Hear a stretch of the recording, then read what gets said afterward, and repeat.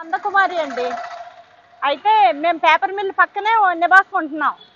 గత డెబ్బై సంవత్సరాల నుంచి మా వాళ్ళందరూ మా పేరెంట్స్ అందరూ ఉంటున్నారు. అయితే ఈ మధ్యన పేట అంతా తీసేసుకున్నారండి పేపర్ మిల్ వాళ్ళు. తీసేసుకుని ఒక ఐదు ఇళ్ళు ఇవ్వలేదు. ఇవ్వకపోతే అది మాకు రేటు కుదరలేదని ఇవ్వలేదు. ఇప్పుడు బ్యాంబో యార్డ్లో నుంచి వచ్చిన పావులన్నీ ఇళ్ళలోకి వచ్చేస్తున్నాయి. చిన్నపిల్లలతో మేము చాలా భయభ్రాంతులకు గురవుతున్నామండి. తర్వాత లారీలు బాగా ఎక్కువగా ఉంది. డస్ట్ బాగా ఎక్కువ వచ్చేసి లంగ్స్ పాడైపోయి చాలా ఇబ్బందులు అయిపోతున్నాం. నేను స్పందనలో కూడా ఇచ్చాను. వాళ్ళు కూడా ఏం పట్టించుకోలేదు. సరే టీకే సార్ గారితో చెప్దాం విశ్వేశ్వరరెడ్డి గారితో అని వచ్చాను. అదండి. మరి అదే అండి మా పేట అంతానే బాగా పొల్యూట్ ఎక్కువైపోతుంది. లంగ్స్ పాడైపోయి చాలా మంది చనిపోతున్న చనిపోవడం జరిగింది. మా ఇల్లు కూడా తీసేసుకుని మమ్మల్ని విముక్తులు చేయమని అడుగుతున్నాం పేపర్ మిల్లోని వాళ్ళు ఏం పట్టించుకోవట్లేదు. స్పందనలో కూడా నేను కంప్లైంట్ ఇచ్చాను. స్పందన వాళ్ళు కూడా ఏం పట్టించుకోలేదు. సరే సార్ నిరాహార దీక్ష చేస్తున్నారని సార్ దగ్గరికి వచ్చాను కూర్చుంటామండి. వస్తాం. అండి లంగ్స్ అవి పాడైపోయి విపరీతమైన పావులు వచ్చేస్తున్నాయండి. చిన్నపిల్లల్ని కొడితే మరి ఎలాగుంటుంది? ఆ, వచ్చి కూర్చుంటాం. నిరాహార దీక్షలో అందరం వచ్చి కూర్చుంటాం. మా పేట వాళ్ళు అందరం వచ్చి కూర్చుంటాం. రాజమండ్రి ప్రజలకి తాగడానికి మంచినీరు అలాగే గోదావరి రేవుల్లో స్నానం చేయడానికి శుభ్రమైన నీరు కావాలని చెప్పి గత నలభై మూడు రోజులుగా నిరవధిక రిలే నిరాహార దీక్ష చేస్తున్నామండి. రాజమండ్రిలో ఉన్నటువంటి అన్ని పొలిటికల్ పార్టీలు అన్ని ప్రజా సంఘాలు అందరూ కూడా స్పందించారు. స్పందించవలసినటువంటి పేపర్ మిల్ కానీ కలెక్టర్ గారు కానీ సరిగా స్పందించట్లేదు. మరి కారణాలు ఏమిటైతే నాకైతే తెలియదు కానీ మరి తక్షణం వాళ్ళు స్పందించవలసిన అవసరం ఎంతైనా ఉంది. నేను సుమారు ఐదు వందల ఆరు వందల మంది అన్ని కాలేజీలకి సంబంధించినటువంటి విద్యార్థులను అందరూ వచ్చి పేపర్ మిల్ సెంటర్లో ఇక్కడ మహాధర్నా నిర్వహించి ఇక్కడ మా అందరూ కూడా కింద కూర్చుండిపోయి పిల్లలందరూ కూడా సుమారు రెండు గంటల మూడు గంటల వరకు ఉద్రిక్త పరిస్థితులు ఇక్కడ నెలకొన్నాయి. అయినప్పటికీ కూడా పేపర్ మిల్ వారు ఏ రకంగానూ కూడా స్పందించలేదు. పోలీస్ వారు వచ్చారు కానీ వారు ఎంతసేపు పేపర్ మిల్ని ప్రొటెక్ట్ చేయాలనే చూస్తారు తప్ప పిల్లలు ఏం అడుగుతున్నారో దానికి సంబంధించి పేపర్ మిల్ మేనేజ్మెంట్ వారిని తీసుకొచ్చి సమాధానం చెప్పిందామని చెప్పి ఆలోచన మరి వీరు చేయలేదు. ఈ రకంగా పోలీసు వారు ఉండటం అనేది కూడా బాధాకరం. ఎందుకంటే పేపర్ బిల్లుకి స్టే ఆర్డర్ ఉంది హైకోర్టు నుంచి అని చెప్తున్నారు. మరి ఆ స్టే ఆర్డర్ అనేది ట్రేడ్ యూనియన్లు కానివ్వండి లేకపోతే అక్కడ ఉన్నటువంటి ట్రేడ్ యూనియన్ ఆఫీస్ బేరర్స్ కానీ ఐదు వందల మీటర్ల దూరం దగ్గరలో ఏ యాజ్ స్టేషన్లో చేయకూడదని ఉంది. అంతేగాని ప్రజలు కానీ విద్యార్థులు కానీ స్టూడెంట్స్ కానీ ఎవరు చేయకూడదు అనేది ఆ స్టే ఆర్డర్లో లేదు. మరి సిఏ గారు స్టే ఆర్డర్ చదివారో లేదో నాకైతే తెలియదు కానీ నా దగ్గర స్టే ఆర్డర్ కాపీ ఉంది కావాలంటే సిఐ గారికి ఒక కాపీ ఇస్తాను చదువుకోమని చెప్పి సిఐ గారిని కోరుతున్నాను. అదేవిధంగా మరి ఈవేళ ఈ సమస్య మీద ఇంకా స్పందించలేదు కాబట్టి మూడో తారీఖునే మన గౌరవ ముఖ్యమంత్రి మన జగన్మోహన్ రెడ్డి గారు రాజమండ్రి వస్తున్నారు. మరి ఈ జగన్మోహన్ రెడ్డి గారు అస్తమాని చెప్తారు నదులు పొల్యూషన్ కాకూడదు అందరికీ తాగడానికి మంచినీరు కావాలని. ఈ విషయం మీద జగన్మోహన్ రెడ్డి గారు మరి ఇమీడియట్గా ఆయన గ్యారంటీగా స్పందిస్తారు. మూడో తారీఖున రాజమండ్రి వస్తున్నారు. డెఫినెట్గా మూడో తారీఖు లోపల దీనికి ఒక సొల్యూషన్ వస్తుందని చెప్పి నేను భావిస్తున్నాను. ఎందుకంటే జగన్మోహన్ రెడ్డి గారు ఇమీడియట్గా దీని మీద చర్య తీసుకోమని ఆర్డర్స్ చేసే పరిస్థితి ఉంది. ఎందుకంటే జగన్మోహన్ రెడ్డి గారి మెంటాలిటీ నాకు పూర్తిగా తెలుసు.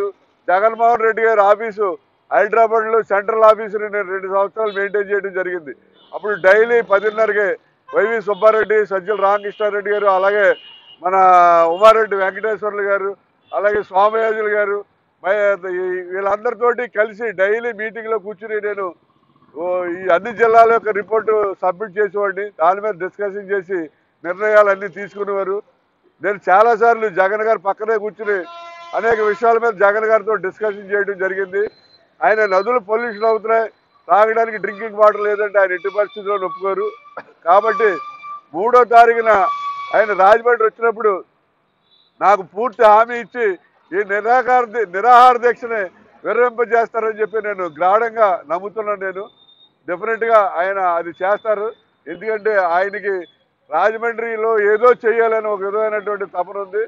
ప్లస్ తాగడానికి మంచినీళ్ళు అలాగే ఈ గోదావరి గోదావరి నదులు పొల్యూషన్ అంటే ఆయన పూర్తి శ్రద్ధ వహిస్తారు కాబట్టి డెఫినెట్గా మూడో తారీఖుగా జగన్ గారి చేతుల మీదుగా ఈ నిరాహార దీక్షకి ముగింపు దొరుకుతుందని చెప్పి ఆశిస్తున్నాను.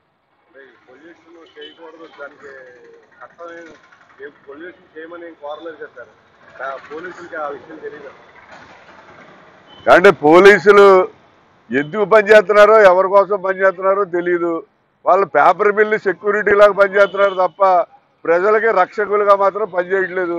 కాలేజీ స్టూడెంట్స్ వచ్చి ఇక్కడ పేపర్ మిల్ దగ్గర ధర్నా చేస్తుంటే పిల్లల మీద దౌర్జన్యం చేసి ఒక అమ్మాయికి అయితే బ్లౌజ్ చింపేశారు. ఇంకొక అమ్మాయికి అయితే కుడి చేయి మీద గోరుతో గీసేశారు. మరి ఏ రకంగా చేస్తున్నారో అర్థం కాదు. పేపర్ బిల్ వారిని మీరు గోదావరి పొల్యూషన్ చేయకూడదయా చట్ట ప్రకారం అని చెప్పి వాళ్ళకి చెప్పరు. ఎందుకు చెప్పరు అనేది ప్రజలందరికీ తెలుసు. మరి ఈ రకంగా పోలీస్ వ్యవస్థ ఉండడం అనేది చాలా బాధకరం. మనం ఏం చేయలేం. సార్ పోలీసు వారు ఎంతసేపు పిల్లల్ని ఎలా పంపించేయాలో పిల్లల్ని ఎలా పంపించేయాలని అని చెప్పి నిన్న ధర్నాలో ప్రయత్నం చేశారు.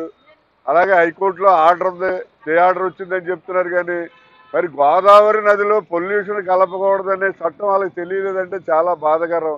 ఎందుకంటే చట్టంలో చాలా క్లియర్గా ఉంది గోదావరి నదిలో పొల్యూషన్ కలపకూడదని. ఆల్రెడీ మన మున్సిపల్ కమిషనర్ గారు కమిట్ అయిపోయారు. మాకు రోజుకి సిక్స్టీ ఫైవ్ ఎమ్మెల్డీ హాస్పిటల్ వ్యర్థాలు మున్సిపల్ వ్యర్థాలు వస్తున్నాయి. మాకు ట్రీట్మెంట్కి థర్టీ ఎంఎల్డి ప్లాంట్ ఉంది. థర్టీ ఫైవ్ ఎంఎల్డీ డైరెక్ట్గా గోదావరిలో కలుపుతున్నామని. అది చాలా అఫేర్స్. నేషనల్ గ్రీన్ ట్రిబ్యునల్ వారికి ఆల్రెడీ మరి ఏదైతే మనకి సిటిజన్స్ ఫారం ఉందో వాళ్ళు నేషనల్ గ్రీన్ ట్రిబ్యునల్లో మన మున్సిపల్ కమిషనర్ గారు ఇచ్చిన వీడియోని కేసు ఫైల్ చేస్తున్నారు వాళ్ళు. వాళ్ళు ఫైల్ చేస్తే మున్సిపాలిటీకి నాకు తెలిసి ఇరవై పాతి కోట్లు పెనాల్టీ పడుతుంది. అలాగే మున్సిపల్ కమిషనర్ గారికి కూడా మరి ఉద్యోగాలకు కూడా అవాంతరం కలిగే పరిస్థితులు ఉంటాయి. డైరెక్ట్గా కమిట్ అయిపోతున్నారు వాళ్ళు. నేను కలుపుతున్నాం గోదావరిలోని. గోదావరిలో కలపడం చట్టరీత్యా నేరం అనే విషయం కూడా తెలియకుండా ఇక్కడ ఆ పోలీస్ ఆఫీసర్స్ కానివ్వండి కమిషనర్ కానీ వీళ్ళందరూ ఉండడం అనేది చాలా బాధకరం.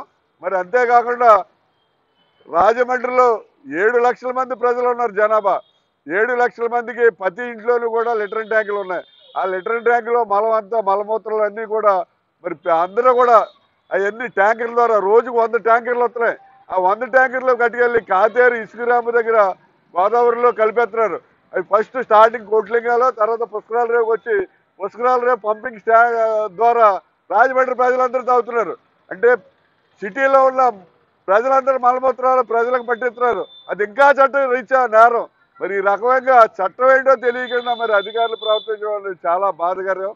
మరి చట్ట ప్రకారం ఎవరైతే ప్రజలకు సేవ చేయవలసి ఉందో ఎవరైతే ప్రజలకు రక్షణగా ఉండవలసి ఉందో వారందరూ కూడా వాళ్ళ డ్యూటీని సక్రమంగా చేయాలి. అంతేగాని ఒక ప్రైవేట్ సంస్థకి కొమ్ము కాయటం ఎంత మాత్రం కూడా సబాబు కాదు.